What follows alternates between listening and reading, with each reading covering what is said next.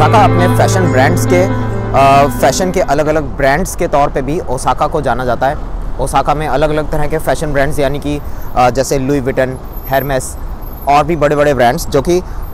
Osaka को एक ऐसी इमेज देते हैं कि यहाँ पर सिर्फ़ वर्क कल्चर ही मतलब वर्क के लिए ही लोग नहीं आते, फ़ैशन के लिए भी आते हैं। और फ़ैशन में सिर्फ़ ऐसे ही फ़ैशन नहीं, जो कि आपको ये देख, ये दिखाएँगे कि ये बहुत ही महँगा, बहुत ही लाइक मॉडल्स वगैरह के लिए फ़ैशन है, लेकिन ऐसे भी फ़ैशन हब्स हैं बड़ी बड़ी कंपनीज़ हैं बड़े बड़े स्टोर्स हैं, जो कि एक नॉर्मल यूजुअल स्कूल गोइंग बच्चे से लेकर कॉलेज गोअर के लिए भी है वर्कर के लिए भी है, और भी बहुत सारी ऐसी चीज़ें जो कि आप कॉस्ट के अंदर अंदर रह के बजट के अंदर अंदर रह के परचेज़ कर सकते हैं। ये ओसाका की एक बहुत बड़ी स्पेशलिटी है। ख़ास तौर पे जो टूरिज़्म होता है, उसको प्रमोट करने के लिए भी सरकार ने भी कुछ ऐसी रेगुलेशंस बनाई हुई हैं, जो कि एक वर्कर हो या स्टूडेंट हो, चाहे टूरिस्ट हो, उसको एक कंफर्टेबली ओसाका में रहने के लिए, यहाँ पर परचेजिंग और शॉपिंग करने के लिए उसको एक अच्छा बहुत ही अच्छा इन्वायरमेंट देता है। जापान में ट्रैफ़िक रूल्स को फॉलो करना अपने आप में काफ़ी एक बहुत ही इंटरेस्टिंग चीज़ है, क्योंकि ये ख़ास तौर पे हम जो लोग इंडिया से आए हैं, उनको काफ़ी अच्छी अच्छी चीज़ें सिखाता है। जैसे कि अगर सबसे बहुत ही बेसिक बात आपने ये अलग अलग चैनल्स पे देखी भी होगी कि जापान में जापान मतलब किसी भी I don't know developed countries में ऐसा होता है, नहीं होता है, लेकिन किसी भी डेवलप्ड कंट्रीज़ में आई थिंक जैसे कि ट्रैफ़िक का बेसिक रूल है, अगर पेडेस्ट्रियंस के लिए रेड लाइट है तो उस टाइम कोई गाड़ी आ रही है या नहीं आ रही है रिगार्डलेस ऑफ़ दैट सभी पेडेस्ट्रियंस रेड लाइट को ही फॉलो करते हैं, वो वहाँ पर रुके रहते हैं। और ग्रीन लाइट होती है तो जैसे यूजुअली जैसे मेरी आदत है कि मैं फिर भी देखता हूँ, कोई गाड़ी तो नहीं आ रही है, लेकिन यहाँ पर लोग अपने फ़ोन में या अपनी बुक को पढ़ते पढ़ते भी रोड पार कर लेते हैं, बिना ये देखे कि गाड़ी आ रही है या नहीं आ रही है, क्योंकि उनको पता है कि अगर गाड़ी आ भी रही है तो वो भी फॉलो करेगी और ट्रैफ़िक सिग्नल पर वो रुकेगी रुकेगी। तो मतलब यहाँ पर सिर्फ़ ये देखना कि कार्स आ रही हैं या नहीं आ रही हैं, इसकी बजाय ये देखा जाता है कि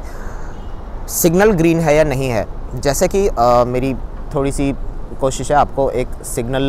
दिखाने की। अभी तो आई थिंक इसमें इतना क्लियर नहीं दिखेगा। लेकिन ये चीज़ आप बहुत ही अच्छी तरह से ये भी एक तरह की लर्निंग है जो कि आप सीख सकते हैं जापान में रह के।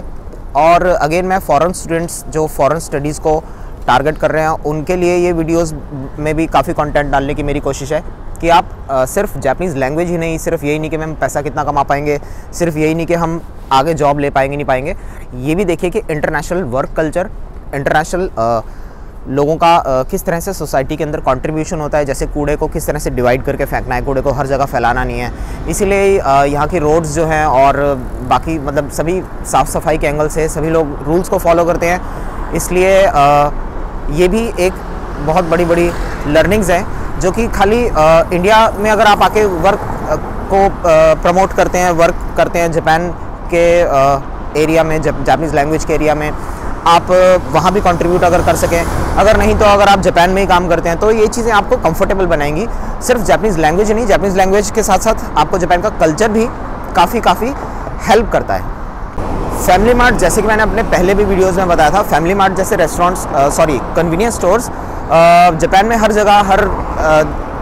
जगह, हर रोड हर गली के बाद आपको मिल जाएँगे। जैसे कि Seven Eleven Walmart sorry Walmart नहीं Seven Eleven Family Mart Lawson ये बेसिक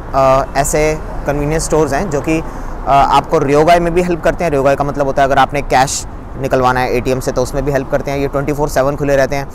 इसमें मैंने पहले भी अपने वीडियोस में बताया कि अगर आपको रात को तीन बजे बहुत भारी सामान किसी दूसरे शहर अपने दोस्त को भेजना है पोस्ट करना है तो भी आप वो कर सकते हैं। रात के तीन बजे अगर आपको अपना बिजली का बिल पे करना है फ़ोन का बिल पे करना है, अपना मोबाइल रिचार्ज करवाना है, अपना कोई भी कोई भी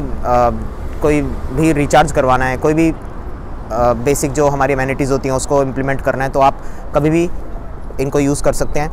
वॉशरूम भी होता है इनके अंदर और दूसरी बात की छोटा मोटा जो